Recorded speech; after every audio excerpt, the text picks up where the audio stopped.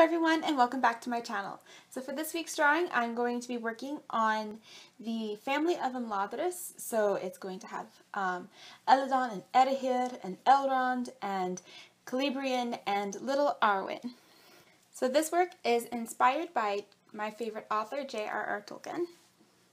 The idea for this work is that um, baby Arwen is just been born, has just been born and Arwen's brothers and father are by Celebrian side.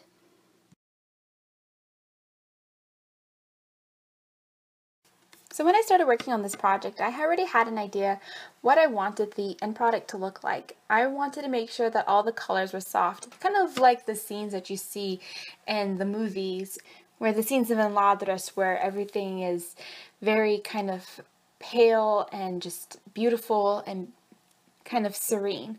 So I want to make sure that I kept everything kind of pastel in the colors.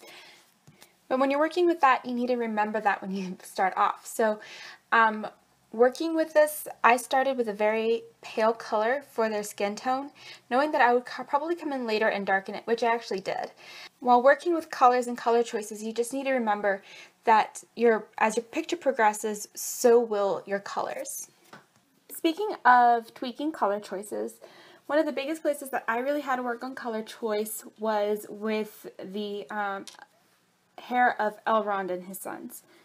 So according to Tolkien, um, Elrond and his twin sons both had, or all three had very dark hair. So I wanted to be able to create this almost black hair.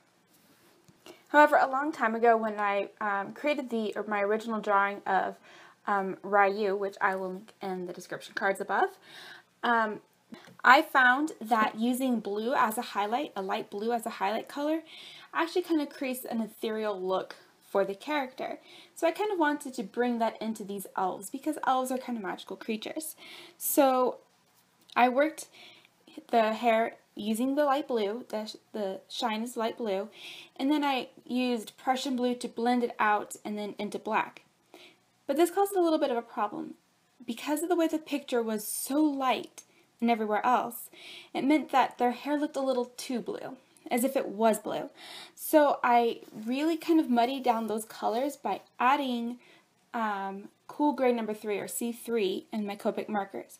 This helped to kind of mute the colors. So while you're working, always remember that you can mute colors by mixing other colors on top. I did the same thing for Elrond's ropes. So technically the colors of Imladris or um, Rivendell are kind of a silvery blue and it was too bright blue.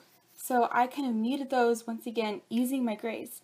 So mixing grays on top of your base colors can really add a bit more texture, a bit more depth, and really kind of mute colors if they're too bright for you.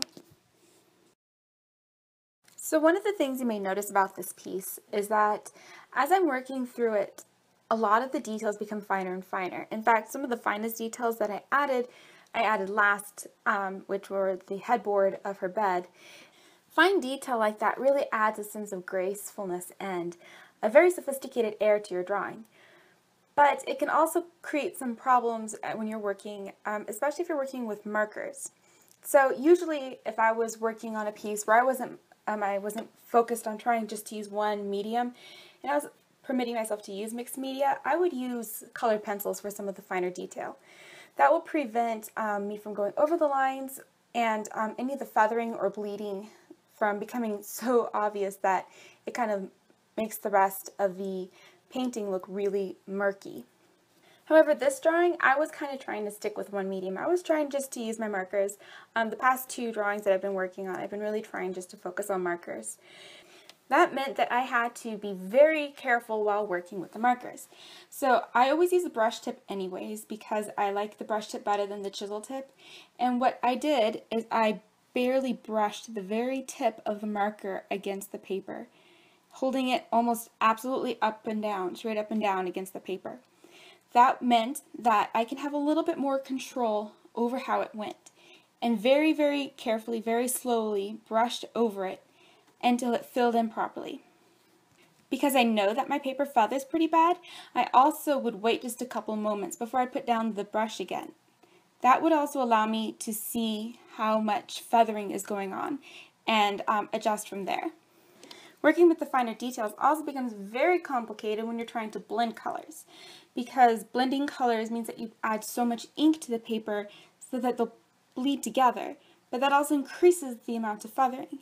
So what I did is um, I made sure that I reversed the process, so I laid down my darkest first and then lay down the lightest, or um, if I was would forget to do that, I would actually go let the base layer dry and then come in with the lighter la um, the darker layers and then blend from there.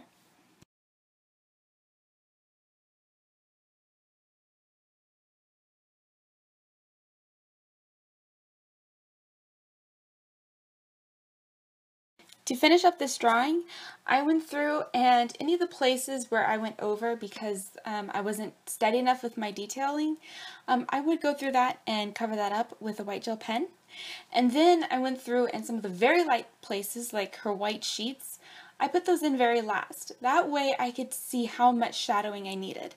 That also allowed me to adjust for shadows underneath um, Elrohir's backside and places like that. I also went through and darkened some of the shadows on the skin just a little bit. That way it would look a little bit more like they were in a fairly dark room. I want to thank you guys so much for watching my video. Please comment down below, share this video with your friends, like it, and don't forget to subscribe.